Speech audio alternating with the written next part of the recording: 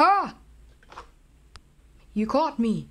Well, at least it's just two of us here, right? Well, well, right now I will drop these gifts to children. Nice children.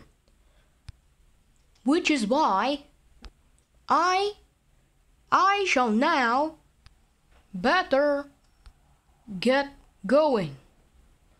Well, I must say Merry Christmas and ho ho ho!